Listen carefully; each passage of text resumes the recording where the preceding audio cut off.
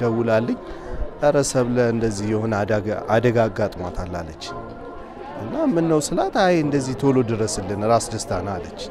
አብሯት ትኖር ከነበረው የወንድ ጓደኛዋ የተለያዩ ጥቃቶች ነው የደረሰባት። ስሄድ ሳያት በቃ ምድርና ሰማይ ነው የዞረብኝ። የሰውነቷ 40 ፐርሰንት ተቃጥሏል ተቃጥሏል። አንሶላ ለብሳለች። በቃ ሾክ ያረጋታል። ሰውነቷ እንደዚህ እንደዚህ ይንቀጠቀጣል። በ12ተኛ ክፍል በቀድሞ ሲኤልሲ የሚባለው ፈተና አራት ነጥብ በማምጣት ከአዲስ አበባ ከተማ አስተዳደርና ከሴቶች ጉዳይ ቢሮ የተለያዩ እውቅናና የማበረታቻ ሽልማቶችን አግኝታለች። በመቀጠል ደግሞ በስለት መወጋት ከዛ በሳኒታይዘር ነው ልብሷን አውልቆ በቃ እኛን እያየች በአይኗ ችለዋለች በሽታዋን። እንደዛ ሆና አይዟችሁ ደህና ነኝ እኛን እያለችን በቃ ታጽናናን ነበር። ግን አስበው ከጸጉሯ ጀምሮ እስከ እግር ጥፍሯ ድረስ ተቃጥላለች። ከሐዋሳ ዩኒቨርሲቲ በ business management የመጀመሪያ ዲግሪዋን በማዕረግ አጠናቃለች።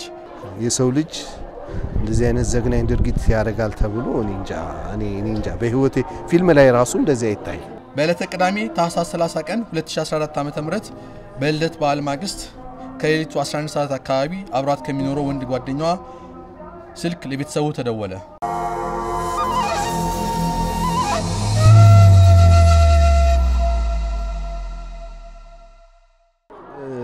ድርጊቱ የተፈጸመው እንግዲህ ቅዳሜ ለእሁድ ማለት የገና በዓል በዋለ ማለት ነው። ቅዳሜ ከዛ ደግሞ እሁድ 11 ሰዓት ነው የደወለችልኝ።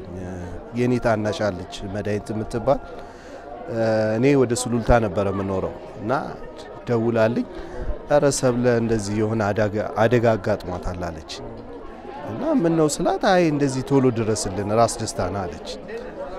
ራስ ደስታ ያው ራሴን አረጋግቼ እኔ ሹፌሩም ስለሆንኩኝ ብዙ ጊዜ ራሴን አረጋግቼ ራስ ደስታ ሄድኩኝ። ስሄድ ሳያት በቃ ምድርና ሰማይ ነው የዞረብኝ። የሰውነቷ 40 ፐርሰንት ተቃጥሏል ተቃጥሏል። አንሶላ ለብሳለች። በቃ shock ያረጋታል። ሰውነቷ እንደዚህ እንደዚህ ይንቀጠቀጣል። በቃ እኛን እያየች በአይኗ ችለዋለች በሽታዋን። እንደዛ ሆና አይዟችሁ ደህና ነኝ እኛን እያለችን በቃ ታጽናናን ነበር። ግን አስበው ከጸጉሯ ጀምሮ እስከ እግር ጥፍሯ ድረስ ተቃጥላለች። በጣም በጣም የሚያሳዝን ነበረ። ስሜታችንን ተቆጣጥረን በቃ እሷን ለማዳን ከራስ ደስታ ሆስፒታል ወደ አሜን ሆስፒታል ሄድን። ከአሜን ሆስፒታል ደግሞ ባንኩ ውል ያለው ከአሜን ሆስፒታል ጋር ነው ተብሎ እዛ ወሰድናት።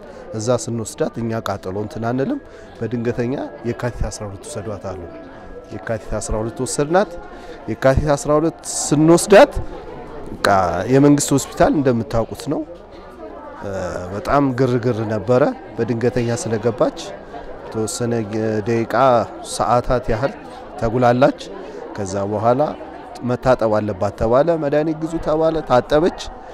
ከዛ ስትታጠብ በዛ ሰዓት ነው የአደጋውን ምን ያህል ከባድ እንደሆነ ያየ ነው። የዛን ጊዜ ነው ሰውነቷ እንዳለ ልብሱ ተነስቶ እንዳለ ሙሉ ለሙሉ ነበር የታጠበችው። በቃ የሰው ልጅ እንደዚህ አይነት ዘግናኝ ድርጊት ያደርጋል ተብሎ እኔ እንጃ እኔ እንጃ በህይወቴ ፊልም ላይ ራሱ እንደዚህ አይታይ። ውጭ የምናየው ፊልም ላይ እንኳን እንደዚህ አይደረግም። እዛ በቃ ራሳችንን መቆጣጠር አቃተን። ከዛ በቃ የወይዘሪት ሰብለ ንጉሴ ወንድም ነህ። በቅድሚያ መጽናናቱን እግዚአብሔር አምላክ እንዲሰጣችሁ የእሷንም ነፍስ ባጸደ ገነት እንዲያኖረው እኛ እንመኛለን። ታላቅ ወንድሟ ነህ። አዎ ታላቅ ወንድሟ እስኪ ሰብለ ምንድን ነው የገጠማት? እንደው አጠር አድርገህ ንገረኝ እስቲ። ሰብለ የገጠማት ምንድን ነው? ታህሳስ 30 ቀን ቅዳሜ ከሌሊቱ 9 ሰዓት እስከ 10 ሰዓት ባለ ጊዜ ውስጥ አብሯት ትኖር ከነበረው የወንድ ጓደኛዋ የተለያዩ ጥቃቶች ነው የደረሰባት። እነዚህ ጥቃቶች መጀመሪያ መደብደብ፣ ፊቷ ላይ መደብደብ እና የተለያዩ ሰውነት አካል ላይ መደብደብ፣ በመቀጠል ደግሞ በስለት መወጋት፣ ከዛ በሳኒታይዘር ነው ልብሷን አውልቆ ሙሉ ሰውነቷ ላይ ከጸጉሯ ጀምሮ አከርክፎ ማቃጠል ጉዳት የደረሰባት የደረሰባት አደጋ ይሄ ነው ምን መልእክት ታስተላልፋለህ? እንደው ለህግ አካላት እንደው በመጀመሪያ ድርጊቱን የፈጸመው ሰው ከሴት ነው የተፈጠረው። ብቻ ከወንድ ብቻ አይፈጠርም መቼም። እናት ይኖረዋል፣ እህት ይኖረዋል፣ በዙሪያው መቼም ሴት ይኖራል። እንዴት ነው ጨክኖ ሴት ላይ እንደዚህ አይነት ድርጊት? ልጅቷ 45 ኪሎ እንኳን አትሞላም። አንድ ጥፊ እንኳን ይበዛባታል። ስለዚህ ምን ያህል እንጃ የሰው ልጅ እንደዚህ ሴጣናዊ ድርጊት ያደርጋል ተብሎ አይገመትም። እና ፍትህ በቃ ሴቶች ላይ የሚደረግ ጥቃት በቃ እንዴ ሴቶች እኮ እህቶቻችን ናቸው። ሴቶች እኮ እናቶቻችን ናቸው። እኔ ከእናቴ ቀጥሎ ሁለተኛ እናቴ ነበረች ሰብለ። ታናሼን ብትሆን እንደ እናት ነው በቃ የምትንከባከበኝ ጋሼ እያለች አሁን ማን ይለኛል? እና ሴቶች ላይ የሚደረገው ጥቃት በጣም በጣም እየከፋ ሄዷል። የሆነ ገደብ ሊበጅለት ይገባል። መንግስትም እንደዚህ እንደው በማስፈራራት ደረጃ ራሱ ሄደ እንደዚህ አስፈራርቷል እንኳን ብለህ ለህግ ስታመለክት ህግ አፋጣኝ እርምጃ አይሰጥህም። ምን ያህል አካላዊ ጉዳት አድርሷል ወይ ምናምን ብሎ እንትን ይልሃል። ስለዚህ እኔ በጣም ቢታሰብበት ጥሩ ነው። እኛ አንዴ ሰብለን አተናታል። እሷ አትመጣም መቼም እኛ ነን ወደ እሷ የምንሄደው። ስለዚህ ወደፊት ብዙ ሰብሎች እንትን እንዳይሉ ህጉ ጠበቅ ብሎ እርምጃ ቢወሰድ ጥሩ ነው እላለሁ። ለህግ አካላት ማስተላለፍ የምፈልገው መልእክት ከዚህ ቀደም ብዙ ጊዜ ጥቃት ሲፈጸም የነበረው በኢኮኖሚ አቅማቸው ደካማ የነበሩ ሴቶች ወይ ደግሞ professional ስራ ያልነበራቸው ሰዎች እንደዚህ አይነት ነገር ነበር በፊት የነበረው ጥቃት። አሁን ግን ሴት ልጅ ላይ የሚደረገው ጥቃት ምንም መሰረት እንደሌለው በኢኮኖሚም ባለው ስታተስም በገቢም ብቻ ሳይወሰን ሁሉም ሴቶች ላይ ጥቃት እንደሆነ የሚገልጽ ነው እና እኔ በዚህ አጋጣሚ ሴት እህቶቼን የምመክረው ምክር ጥቃት ከደረሰባቸው ጥቃት ትንሽ የለውም፣ ጥቃት ትልቅ የለውም። ከትንሹ ጥቃት ጀምሮ ከምን አይነት ሰው ጋር ነው የምኖረው የሚለውን ነገር በደንብ አድርገው አውቀው ጥቃቱ አንድ አነስተኛ ጥቃት ደርሶ ጥቃት በዝምታ የሚታለፍ ከሆነ በቀጣይ ወደ ከባድ ጥቃት ያ ጥቃትም አልፎ ወደ አካል መጉደል ከአካል መጉደልም አልፎ ወደ ሕይወት ማለፍ የሚሄድ ስለሆነ ጥቃት ከትንሽ ጥቃት ጀምሮ ሕይወታቸውን በዛ እንዲያስተካክሉ የሕይወት አጋራቸውን እንዲወስኑ መለያየት ካለባቸውም ሰው ብቸኛ ሆኖ መኖር ስለሚችል እንደዛ እንዲወስኑ ነው የምመክረው ምክር። በዚህ አጋጣሚ የህግ አስፈጻሚም በጣም ብዙ ቸልተኝነት ህግ አስፈጻሚዎችም ይታያል። ለምሳሌ ጥቃት በሚደርስባቸው ጊዜ ይሄ የተለመደ ነው፣ እናንተ ወጣቶች ናችሁ፣ እናንተ እንደዚህ ናችሁ፣ በቃ ቻዪ ይቅርታ አድርገውልሻል ብሎ የሚታለፍ ነገር አለ። ነገር ግን ጥናቶችም የሚያመለክቱት ነገር እንደዚህ ጥቃት አድራሾች usually ምንድን ነው የሚደረገው ጥቃቱን የደረሰባቸው ሴቶች ይቅርታ የሚያደርጉላቸው ከሆነ በቀጣይ ደግሞ የሆነ ንዴት ወይም ብስጭት በሚመጣቸው ጊዜ በፊት ከደረሱት ጥቃት የበለጠ እጥፍ እጥፍ አድርጎ እንደሚሄዱ ያሳያል እና ህግ አስፈጻሚ ህግ አውጪውም አካል ይህን ጥቃት ከታች ጥቃቱን ሪፖርት ከሚደረግለት ፖሊስ ጀምሮ seriously ጉዳዩን እንዲመለከት ነው መልእክት ያስተላልፋል። በመቀጠል የእህታችንን የሰብለ ንጉሴ አጭር ህይወት ታሪክ አቀርባለሁ። ሰብለ ንጉሴ መስከረም 8 ቀን 1976 ዓ ም በአዲስ ከተማ በተለምዶ ፓስተር ማዞራ እየተባለ በሚጠራው አካባቢ ተወለደች። እድሜዋ ለትምህርት እንደደረሰ በመድኃኔዓለም የመጀመሪያ ደረጃ ትምህርት ቤት ከአንደኛ እስከ ስምንተኛ ክፍል የተማረች ሲሆን በጊዜውም የስምንተኛ ክፍል ሀገር አቀፍ ፈተና 99 ውጤት 99 ፐርሰንት በማምጣት ለትምህርት ያላትን ትጋት አስመስክራለች። በመቀጠል ከ9ኛ እስከ 12ኛ ክፍል በአዲስ ከተማ ሁለተኛ ደረጃ ትምህርት ቤት የተማረች ሲሆን በዚያም የደረጃ ተማሪ መሆኗን ዳግም በማስመስከር በ12ኛ ክፍል በቀድሞ ESLC የሚባለው ፈተና አራት ነጥብ በማምጣት ከአዲስ አበባ ከተማ አስተዳደርና ከሴቶች ጉዳይ ቢሮ የተለያዩ እውቅናና የማ- የማበረታቻ ሽልማቶችን አግኝታለች። ሰብለ ከቀድሞ የደቡብ ዩኒቨርሲቲ በአሁኑ አጠራር ከሐዋሳ ዩኒቨርሲቲ በ business management የመጀመሪያ ዲግሪዋን በማዕረግ አጠናቃለች። ከዚያም በስራ ዓለም ከገባች በኋላ ትምህርቷን በመቀጠል ከዩኒቲ ዩኒቨርሲቲ በ masters of business administration በከፍተኛ ማዕረግ ሁለተኛ ዲግሪዋን አግኝታ ነበር። ሰብለ ከሰራችባቸው ድርጅቶች መካከል በትራንስጎን ትሬዲንግ ኃላፊነቱ የተወሰነ የግል ማህበር የሰው ኃይል አስተዳደር ኃላፊ ሆና በአሳል ኃላፊነቱ የተወሰነ የግል ማህበር የሰው ኃይል አስተዳደር በሜጋ አሳታሚና ማከፋፈያ ኃላፊነት የተወሰነ የግል ማህበር የሰው ኃይል አስተዳደር አስተባባሪ በመሆን ሰርታለች። በመቀጠል ህይወቷ እስካለፈበት ድረስ በህብረት ባንክ በሰው ኃይል አስተዳደር መኮንነት እስከ ሰው ኃይል ቅጥርና አስተዳደር ኃላፊነት ድረስ ደረጃ ድረስ ታገለግል ቆይታለች።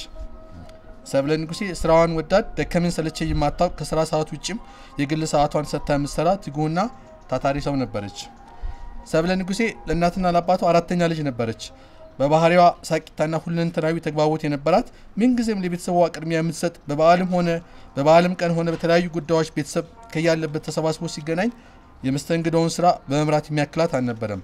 የሁሉም መሰባሰብና ማውራት የጋራ ሳቅ ጨዋታ ሁሉ የሚፈጥርላት ደስታ መቼም ከልብ የሚጠፋ አይደለም። ሰብለ ታላላቆቿን ምክር የምትሰማ የህይወት መርህና ግብ የነበራት ወላጆቿን አክባሪ፣ ለታናናሽ ወንድሞቿም አርያና መሪ፣ እናትና አባቷን ደግሞ ጧሪ ነበረች። በዕለተ ቅዳሜ ታህሳስ 30 ቀን 2014 ዓ ም በልደት በዓል ማግስት ከሌሊቱ 11 ሰዓት አካባቢ አብሯት ከሚኖረው ወንድ ጓደኛዋ ስልክ ለቤተሰቡ ተደወለ። የስልኩ መልእክት ሰብለ የእሳት አደጋ ስለደረሰባት በራስ ደስታ ሆስፒታል ተገኙ የሚል ነበር። የስልኩ መልእክት ሰብለ የእሳት አደጋ ስለደረሰባት በራስ ደስታ ሆስፒታል ተገኙ የሚል ነበር። በቦታው ስንደርስ እህታችን እጅግ ከፍተኛ የቃጠሎ አደጋ ደርሶባት በቅጥ እንኳን የሚያክማት ሐኪም ሳታገኝ በድንገተኛ ክፍል አገኘናት። በወቅቱ የነበሩ የጤና ባለሙያዎች በሰጡን ምክር መሰረት የምትሰራበት ባንክ ከአሚን አጠቃላይ ሆስፒታል የስራ ስምምነት ስላለው እዚያ ሄዳ እንድታከም ካልቻሉ ደግሞ ወደ የካቲት 12 ሆስፒታል refer ይጻፍላችሁ የሚል ነበር። እሁድ ጥር አንድ ቀን ከጠዋቱ 12 ሰዓት ተኩል አካባቢ አሚን አጠቃላይ ሆስፒታል የደረስን ሲሆን የቃጠሎ ሕክምና እንደሌላቸው ገልጾ አሰናበቱን። በመቀጠል ወደ የካቲት 12 ሆስፒታል ነበር ያቀናነው። ሆስፒታሉ ስንደርስ ቀኑ ሰንበት እሁድ ጥር 1 ቀን 2014 ዓ ም የነበረ ቢሆንም እንደ ማንኛውም የመንግስት ሆስፒታል በታካሚዎችና በጠያቂዎች የተሞላ ስለነበር በመጀመሪያዎቹ ሁለት ቀናት የድንገተኛ ክፍል ቆይታ በመቀጠል የድንገተኛ ክፍል ለኢንፌክሽን ተጋላጭና የተኛችበትም አልጋ ሌላ በሽተኛ በመፈለጉ ቀጣዮቹን ሁለት ቀናት በኮሪደር ቆይታለች። የካቲት 12 ሆስፒታል በቀጣይ አጭር ቀናት ውስጥ ተኝታ የምታከምበት አልጋ እንደማይኖር ሲገልጽ ወደ ኮሪያ ሆስፒታል ወሰናት። በዚያም እንድትቆይ ተወሰነ። በመጀመሪያዎቹ ቀናት ህመሟን ውጣ የእኛን የቤተሰቦቿን ለማበረታታት ትሞክር ነበር።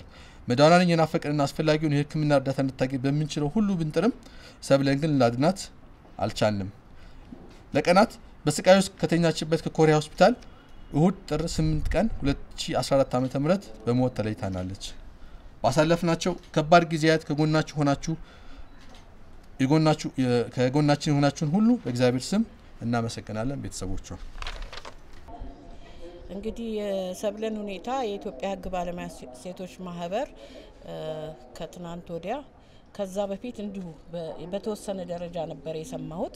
ከትናንት ወዲያ ግን ከትንሳኤ ጋራ ተነጋግረን ትናንትና በአሃዱ ሬዲዮ ላይ የሴቶች ፕሮግራም ስላለ እዛ ላይ አቅርቤው በጣም በርካታ ሰዎች በመግባት እንዲህ አይነት ወንጀል ኢትዮጵያ ውስጥ አንዴ ሲሰማ አንዴ ይጮሃል ከዛ ደግሞ ሌላዋ እስከምትደገም ድረስ ያለው ሁኔታ እየቀዘቀዘ ስለሆነ አሁን የኢትዮጵያ ሕግ ባለሙያ ሴቶች ማህበርም ማንኛውም ሴት ምክንያቱም በርካቶች ናቸው። ላለፉት 30 25 ዓመት ጀምሮ እንግዲህ ከካሚላት ኬዝ ጀምሮ ወጥተን እንደዚህ ሻማ እያበራን እያለቀስን ውጤቱ ላይ ግን ሲመጣ ምንም አይደለም ማለት ይቻላል። እና እስካሁን ድረስ ሕግ ውስጥ ያልተካተቱ በርካታ በሴቶች ላይ እየተፈጸሙ ያሉ ነገሮች ስላሉ ከአሁን በኋላ እንደገና እንግዲህ ሰብለ አርፋለች። በጣም ከባድ ነገር ነው ለቤተሰብም፣ ለምንሰማውም፣ ለሁላችንም በሴቶች ላይ ለምንሰራ ሁሉ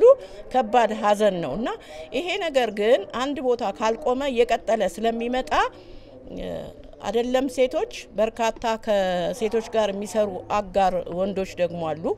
ከነሱ ጋር በመሆን መጮህና ትክክለኛው ፍትህ እንዲገኝ መስራት አለብን። በዚህ አጋጣሚ የሚዲያ ባለሙያዎችም ልክ እንደኔ እዚሁ ስላለን ይሄንን ነገር በተከታታይ መስራት አለብን። ሰው መስማት አለበት። ትናንትና በአንድ ሰዓት ፕሮግራም ላይ በጣም በርካቶች ሰዓት አንሶኝ ነው እንጂ ለምን እስር ቤት ሆኖ ይቀለባል የሚሉ ድምጾች ሁሉ ተሰምተዋል። ስለዚህ ሚዲያ ይሄንን ያዝ ለቀቅ ሳይሆን አበክሮ መስራት አለበት፣ መቆም አለበት። ብዙ ነገር ነው የምንሰማው በሀገራችን እየተፈጸመ ያለው ሴቶችና ሕጻናትን የሚጎዳው ነገር በጣም ብዙ ነው። ግን እኛ እየተው ነው እየፈራንም ጀመር ተወት ስለምናረገው እዚህ ያላችሁ በሙሉ ባላችሁ contact ሁሉ መስራት አለብን፣ መጮህ አለብን። አሁን ይሄ ፍርድ ቤት እንግዲህ በቀጠሮ ይሄ ሰውዬ ይከርማል። ይሄ ከዛ እየተረሳ ይመጣል። ሌላ ሴት ስትመጣ ነው እንደዚህ የምንጮኸው ማለት ነው። እና ይሄ ግን ትክክለኛ ፍትህ፣ ትክክለኛ ውሳኔ እንዲያገኝ በያለንበት ስራ እንስራ ለማለት ነው። በጣም ከባድ ሐዘን ነው። ለቤተሰቦቿ መራር ነው አይደለም፣ ለሚያውቋት ለማናቃትም፣ ለእኛም እናቶች ስለሆን ሴቶች ስለሆንን በጣም ነው feel ያደረግነው እና እግዚአብሔር መጽናናት ይስጣችሁ። እኛ ግን እንበርታ። ህግ እንዲለወጥ መስራት አለብን። የኢትዮጵያ ህግ ባለሙያ ሴቶች ማህበር በርካታ ህጎችን ከዚህ በፊት አስቀይሯል። አሁንም ደግሞ ህግ ላይ ያልሰፈሩ እንደ acid attack፣ አሁን ሳኒታይዘር፣ ሌላ እንደዚህ አሰቃቂ ነገሮች ላይ ግን የተለየ ውሳኔ እንዲኖር መስራት አለብን ለማለት ነው። አመሰግናለሁ። እያዘጋጀ ነው ከነበርነው team ኦች ጋር አናለቅስም እያልን ነበር አናለቅስም እያልን ነበረና ምክንያቱም ለእኛ እንደገና ሌላ burden ነው፣ ለእኛ ሌላ responsibility ነው። ምናልባት እኛ መንግስት አይደለንም፣ እኛ professionals ነን፣ የህግ ባለሙያዎች ነን። ሴት የህግ ባለሙያዎች አንድ ላይ መተን የሴቶችን ጉዳይ በ profession ኣችን at least support ማድረግ የምንችለውን support እናርግ ተባብለን የተቋቋምን advocacy group ነን። እኛ ህጉንም መለወጥ የሚችለው ቅጣቱንም ላይ መወሰን የሚችለው የሚመለከተው አካልና መንግስት ነው። በዚህ አጋጣሚ ማህበሩ 25 ዓመታትና ከዛ በላይ ሲሰራ ቆይቷል ስንል ቀላል ሊመስል ይችላል። በእነዚህ አመታቶች በሙሉ እንደ ህግ ባለሙያ እኛም ከኛም በፊት የነበሩ senior የህግ ባለሙያዎች እዚሁ ቤት ውስጥ በርካታ case ኦችን ይዘው እንደዚሁ እኛ advocates ነን፣ እኛ መጮህ ነው። ከዛ ግን ደግሞ ጥቃት ከሚደርስባቸው ሰዎች ጋር አብረን መቆም ነው የእኛ responsibility፣ እዛ ድረስ ይሄዳል። ግን ከዚህ በኋላ ያለውን ደግሞ at least ምን እስኪሆን ነው የምንጠብቀው የሚለውን ለመንግስትና ለሚመለከታቸው አካላት responsibility ውን እሰጣለሁ። በዚያ ሁላችሁም እዚህ ስለተገኛችሁ እናመሰግናለን። በእውነት የሚቆምበት እና እንደዚህ አይነት ነገሮች የማያሰባስቡን ጊዜ ቅርብ ይሁን ከማለት ውጭ ሌላ ምንም ማለት አንችልም። ነገር ግን ያው እንደ ባለሙያዎች እኛን የምትቆጥሩን እንደ ህግ ባለሙያዎች ነው። የህግ ባለሙያ ሴቶች ነን። የህጉን ወይም መስጠት የምንችለውን at least ፍትህ እንዳይጓደል ማድረግ የምንችለውን ነገሮች በሙሉ እናደርጋለን። ቅድምም የምወድሽ እንደገለጸችው ደግሞ አሁንም cope up አላረገም ህጉ ብለን የምናስባቸው ሀሳቦችም ደግሞ እንዲቀየሩ መንግስትን ጫና ማድረጋችንን እንቀጥላለን። ሌላው ቅድም ደግሞ ወንድሜ ከእርቅ ማዕድም እንደ solidarity ውን እንዳሳየን የእርቅ ማዕዶችም እንደምታስቡት ላለፉት እንደምታውቁት ላለፉት 12 ዓመታት በተለይ ጥቃት ለሚደርስባቸው ዜጎች በተለይም ሴቶች የ psychosocial support ወይም የስነ አእምሮ ወይም የስነ ልቦና support ን ድጋፍን ሲያደርግ የቆየ በጣም ለእኛ በተለይ ቅርባችን የሆነና እንደ partner አብረን የምንሰራ organization ነው። ስለዚህ እናንተንም ለቤተሰቦቹ በተለይ ደግሞ ያው በአንድ የሚወጣ አይደለም፣ healing process ነው። እንደ ቀላል አትዩት። እንደዚህ አይነት ነገር ብዙ ጊዜ ይፈጅባቸዋል እና እነሱ ጋርም ሄዳችሁ እነሱ የሚሰጧችሁን ደግሞ የስነ ልቦና ምክርና የስነ ልቦና process ም እንድትሄዱበት ለቤተሰብ አደራ ማለት እፈልጋለሁ። እናንተንም ከልብ ማመስገን እንፈልጋለሁ።